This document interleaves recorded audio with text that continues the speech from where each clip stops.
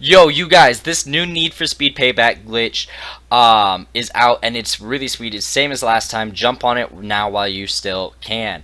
Uh, step one is going to be to get on top this here bridge. By doing that, you just hit the jump over there, and you barely go off like I just did, and you fall down in here. Now, you're going to hold RB to change your car and gas away at the exact same time, and if it works, you should respawn on top of the bridge.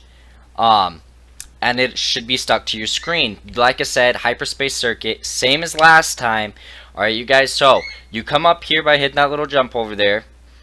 You drive all the way over and you just drive off barely, alright? Your goal is going to be to fall in there. Don't, you know, follow in there and fall back on your wheels. Stay in there.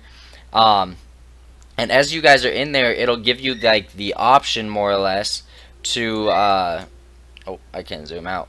Um, you guys are going to hold RB to change your car and drive away at the exact same time and it should spawn you. Today is 5:30 2018 for this Need for Speed Payback glitch. It works. Jump on it now while you guys still freaking can. It will take you guys a few tries. Um, it took me like 8 tries, but it does work. Credit is not mine. Um, I'm not sure who is the founder of this here glitch, so credit to whoever is. I am not trying to take their uh, credit or not. I'm just putting it out there for more and more people to see. Anyway, you guys, if you did like this Need for Speed Payback uh, glitch video, let me know in the comment section down below. Be sure to subscribe, share, and like. And peace out, freshies. I'll see you guys next time.